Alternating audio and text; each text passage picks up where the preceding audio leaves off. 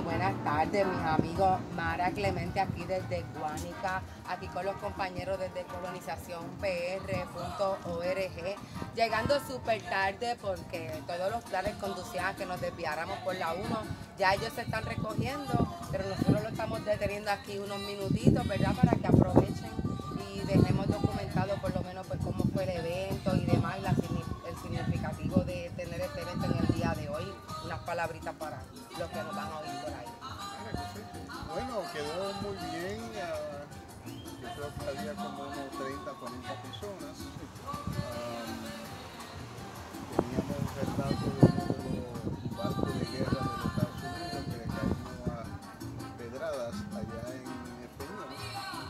Uh, lo poquito que yo dije al finalizar es que según CBS uh, Río San Juan había medio millón de, puertorriqueños exigiendo la salida de, de Rosselló. Y yo dije que imagínate el día cuando aquí en Guánica, un 25 de, julio, esté quizás doble esa cantidad, un millón de puertorriqueños exigiendo la salida de los Estados Unidos de Puerto Rico.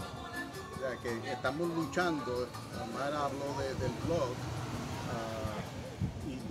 de eso se trata la, las grabaciones, los videos que hacemos, tratando de llevar al puertorriqueño poco a poco que entienda que no es cuestión de sacar a Ricky Rosselló o a Rivera Chávez o a algún puertorriqueño de Puerto Rico, porque ellos son puertorriqueños, es sacar a, lo, a, a los mismos que entraron en un barco de guerra a Puerto Rico hace 121 años atrás para hacerlo su colonia y, y, le ha ido muy bien porque es, es una, un negocio tan grande que ellos están violando las cartas de las Naciones Unidas de 45, están violando o están ignorando 38 resoluciones que ahora se están haciendo sin votar. De todo el mundo dice, mira, eso, eso es así.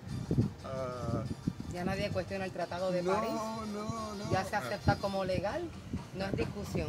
Y voy a escribir una, un artículo que después de Ricky, ¿qué? Para, para ver, para poner a la, gente a pensar, está bien, no tenemos a Ricky, pero ¿estamos bien ahora o estamos todavía chavas? A lo menos, ¿quién gobierna hoy? No tenemos esa noticia, como el reporte del tiempo.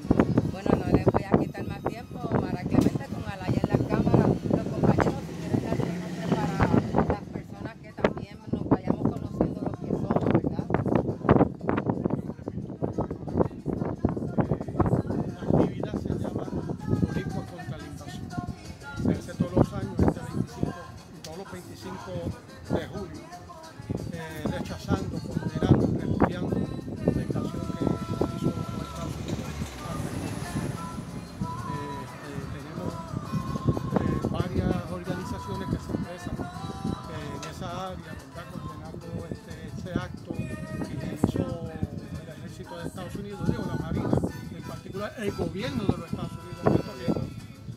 Y tenemos, pues, además de los mensajes que hacen los compañeros de diferentes organizaciones, también todos los años tenemos una actividad participativa donde las personas participan directamente. Este año pues tuvimos una foto 3x6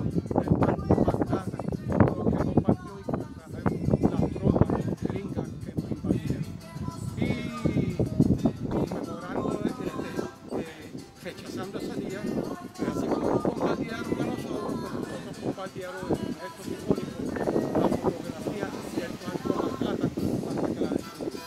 Eso va a estar en el video que Está documentado. A de Mayagüez y pues estamos en el mismo grupo en todo lo que está sucediendo y ya sabemos que es una nueva etapa para Puerto Rico, para nosotros, que entendamos otras cosas que lo teníamos en la cara, pero ya ahí vamos para encima. Y, y- decimos más que para el carajo, la Junta de Go- para el carajo USA. Vamos a ver. Eso es lo, ya lo Sí, sí, sí, sí. Hay que No, hacer yo otra- que hay que hacer otra camisilla. original como nuestro himno original, que no es revolucionario, sino el original,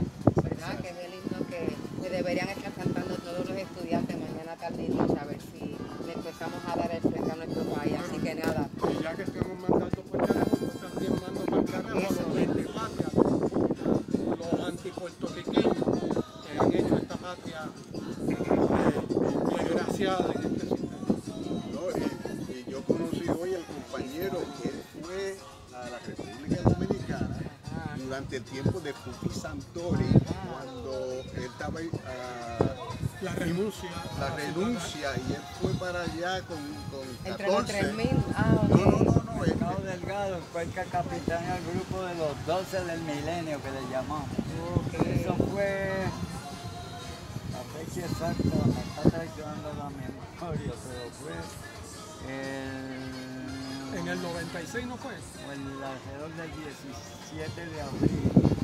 1996. Sí, sí, sí, sí. Sí, cuatro, cuatro, días en República, un trámite que nosotros pensábamos que dormíamos en 24 horas o en 48, nos tomó cuatro días porque la cónsul dominicana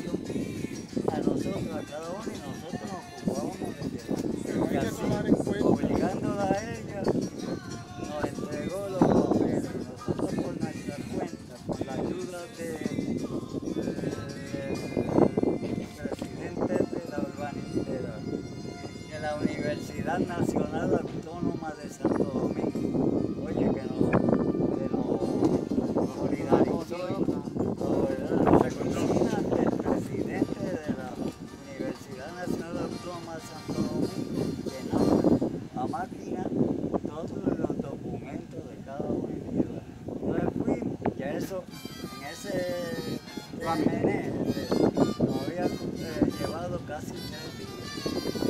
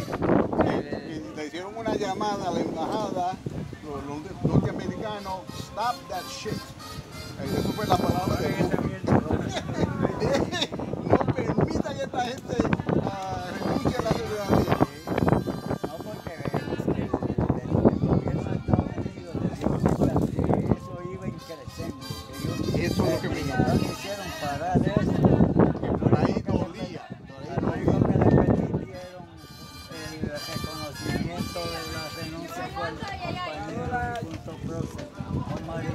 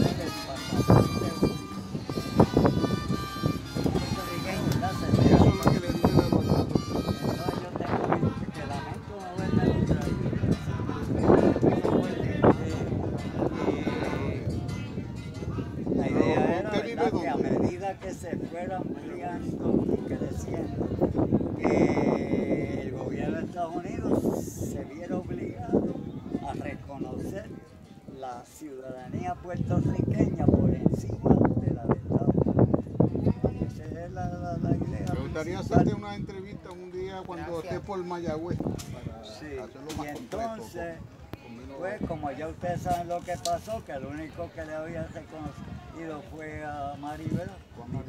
Y, y, después se la denegaron, ¿verdad? Y que Entonces, que la de Maribra la hizo por derecho propio. Maribra no fue por los canales, sí, que fueron ustedes. Sí, no, no, no, él fue de los primeros. Él fue a la embajada de Venezuela. Sí, es verdad, es verdad.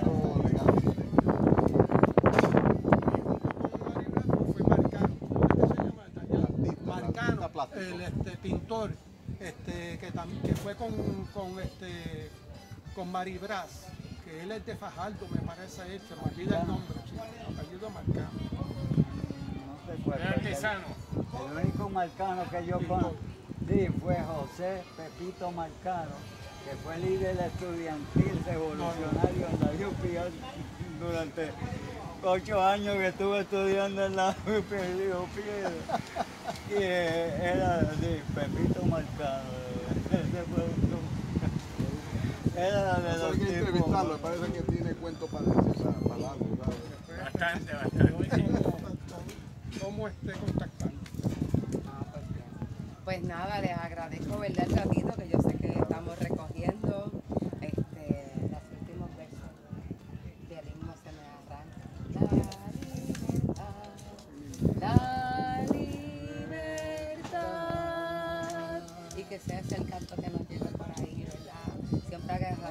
se la comió la compañera Milagro Ortiz con esa composición que hizo de, de esa Oye, de qué la tremenda. quedó. Usted no Demasiado. oyó? Lamentable. No, no, que no, tarde, no, es la llegando Pero está, está en la Ahora hay que apuntarse No, con quedó los videos de YouTube Sí, de yo- José López y ahí lo vamos a ver. Sí. De hecho, este, hoy en la actividad por primera vez se entona el himno revolucionario en la- el lenguaje taíno.